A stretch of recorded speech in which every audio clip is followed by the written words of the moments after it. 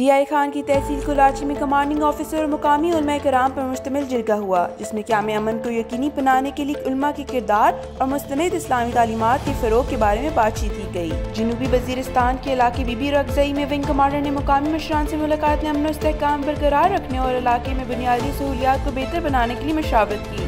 Lucky Marwat के इलाके जवार खेल में असली हुकाम ने सिक्योरिटी सूरत हाल का जायजा लेने के लिए मुख्तलिफ़ गाँव का दौरा किया।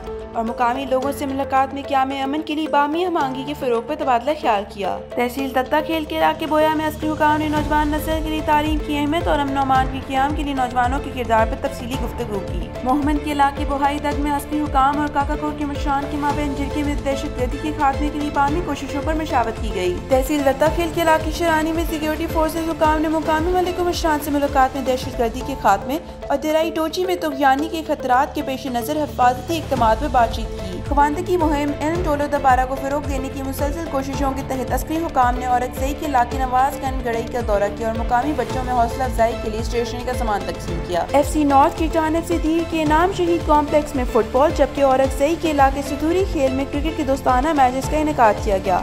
मैच के अख्ताम पर टीमों में इनाम तकसीम किए गए।